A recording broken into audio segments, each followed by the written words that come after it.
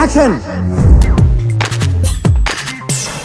power star Pawan Kalyan Allu Arjun అభిమానుల మధ్య ఆన్లైన్లో జరిగే గొడవలు మనకు తెలుసు. అయితే అల్లు అర్జున్ నటించిన డీజే ఇప్పుడు టాక్ ఆఫ్ ది ఇండస్ట్రీ అనడంలో సందేహం అక్కర్లేదు. మెగా హీరోల సినిమాలు ఒకేసారి రావడం అది కూడా పవన్ సినిమా తర్వాత బన్నీ సినిమా రావడం గతంలో సరైనడు సినిమాకు జరగాల్సిందే.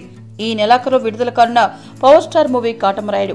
యూట్యూబ్లో ఎన్నో సెన్సేషన్స్ క్రియేట్ చేస్తే వాటి అన్నిటి వెనుక అల్లు అర్జున్ డీజే ఉంటున్నాడు. Fastest one two three four million ఇలా దాదాపు వ్యూస్ రికార్డులని పవన్ కాటమనాయుడు పేరుపై ఉంటే ఆ తర్వాత డీజే నిలుస్తోంది. కానీ తేడా మాత్రం డిజిలైక్స్ విషయంలోనే ఒకటి పాయింట్ మూడు లక్షల డిజిలైక్స్తో బన్నీ ఫస్ట్ ప్లేస్లో ఉన్నాడు. డిజిలైక్స్ కొట్టేందుకు పని కట్టుకుని మరీ వ్యూస్ పెంచుతున్నట్లుగా ఉంది పరిస్థితి.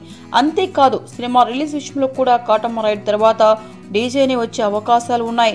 మెగా హీరోలిద్దరూ రికార్డులు వేట కంటిన్యూ చేయడం ఆసక్తి కలిగిస్తోంది. అది కూడా ఫస్ట్ సెకండ్ ప్లేస్లను ఆక్రమించేస్తుండడం చెప్పుకోదగ్గ విషయమే. మీకు ఈ వీడియో నచ్చితే ఒక లైక్ కొట్టండి లేకపోతే కామెంట్ చేయండి బట్ సబ్స్క్రైబ్ చేయడం మర్చిపోకండి.